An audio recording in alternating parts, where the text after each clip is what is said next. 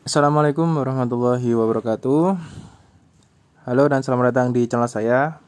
Oke kali ini saya akan menjelaskan bagaimana kita membuat atau membuat video apa ya hanya satu suara apa itu namanya Roku Denasi Tada Koe Hitotsu. Teman bisa menggunakan dengan cara hanya memerlukan aplikasi dan menggunakan eh, dan perlu template ya. E, cari gambar dulu bisa foto atau video.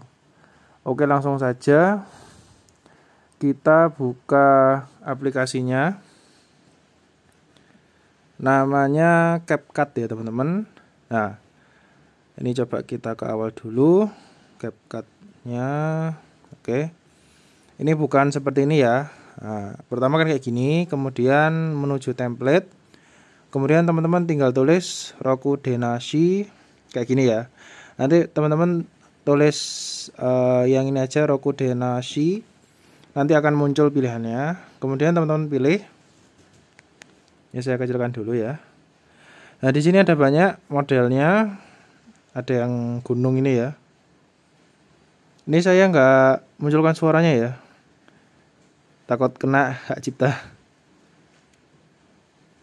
Nah, di sini teman-teman tinggal pilih gunakan template. Ini modelnya macam-macam.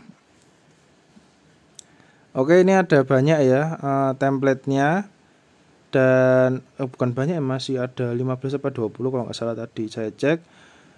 Di sini ada yang model tulisan dan subtitle Indonesia, tulisan Jepang di atasnya, Nah, ini teman-teman bisa milih apakah ini teman-teman geser ke atas ya. Nah, ada yang model juga gini.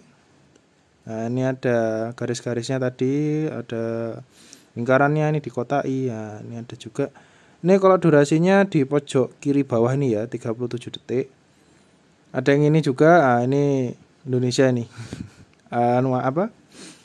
Backgroundnya jalan pegunungan ya ada gunungnya pokoknya di situ. Kemudian ini ada juga. Oke banyak banget ya uh, templatenya. Nah, ini pilihannya banyak saya pakai ini aja. Teman-teman tinggal uh, tekan yang gunakan template ini ya pojok kiri pojok kanan bawah ini. Nah di sini oh ya nah kalau ini dia di pojok kiri bawah ini ada pilih satu klip dengan waktu durasi 36,5 detik. Jadi hanya satu gambar aja. Kalau misalnya modelnya itu apa tadi? Modelnya? Oh diem tok gambarnya. Jadi ya hanya gambar diem gitu. Nah teman-teman bisa masukkan berupa video atau foto foto juga bisa. Ini semua. Uh, saya pakai apa ya kira-kira ya? Video saya belum punya banyak. Nah ini ada video sate ini berikutnya. Waduh kecil ya tampilannya ya. Jadinya hasilnya seperti ini. Nanti video hasilnya saya taruh di tiktok aja teman-teman. Nanti saya kasih linknya jadi ini udah nggak perlu kita green screen nggak perlu download templatenya dulu lagunya dulu satu-satu buat tulisannya. Itu ini sudah ada di satu aplikasi. Jadi tinggal masukkan backgroundnya teman-teman. Nah kalau sudah selesai itu diekspor. Nah ini. Kalau misalnya langsung ke TikTok nggak ada watermarknya. Nih yang pojok kanan atas ini ada CapCut itu dan kalau ekspor biasa itu ada watermark.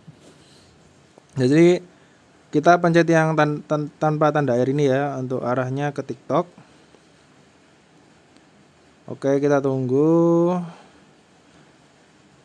Dan videonya itu ngikutin durasi dari templatenya ini ya. Kalau videonya satu menit ke dipindah ke template jadi ya itu 3, eh, 36 detik itu. Ini diarahkan ke TikTok nah ini sudah masuk ya. Dan ini sudah otomatis ke save di HP ya harusnya ya. Ini karena harusnya sudah ke save coba saya buka galeri dulu. Galeri.